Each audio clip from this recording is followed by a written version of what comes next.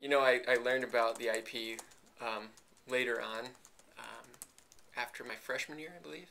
Actually, my, my older brother was in the IP um, a couple years beforehand, and he kind of turned me on to it. Initially, wanted to do it freshman year, and then I sophomore year, I thought about it, and I didn't take any German classes. I said I didn't want to do it.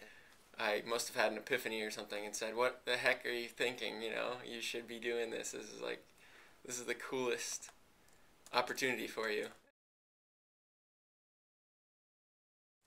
You know, everything in the world is civil engineering. You know, this building, the roads outside, everything below the ground, everything is designed by a civil engineer. Everything you, you know, everything you see and use every day. So, I thought that'd be a cool, cool thing to get into. I lived in a city called Braunschweig um, for the first half of the year. We were a group of, I think, 18 people, um, all from different engineering backgrounds and everything. Mm-hmm. So, um, after the six months in Braunschweig, when we, you know, the, all the Americans were together, we were taking the same classes and everything, cultural classes, uh, speaking classes, things like that. Um, we all um, got internships. I ended up moving to Stuttgart, which is in the south, and I worked at a company called uh, Zublin, and they had a wild building. It was just this crazy architecture.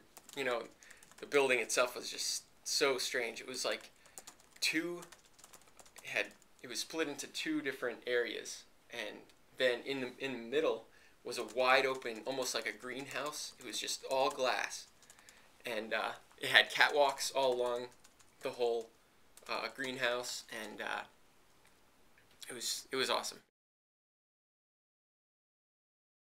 I um, recently accepted a job from the Pare Corporation in Lincoln. I got hired as a uh, an environmental engineer, so I'll be working in that department, working on um, one of their biggest projects is the Johnston landfill. URI was, you know, the best choice for me, to tell you the truth. I looked at a couple other schools. Um, I got into Clemson and uh, Penn State, I believe, too. But this ended up being the best, um, you know, money wise and engineering. You know, I wanted to go into engineering, and uh, seemed to have the best of uh, both worlds, I guess you could say, for me.